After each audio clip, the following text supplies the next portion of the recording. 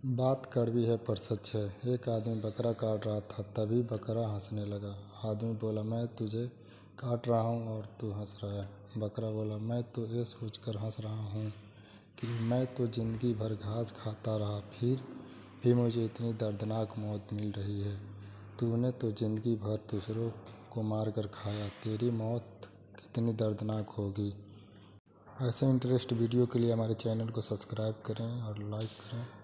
share करें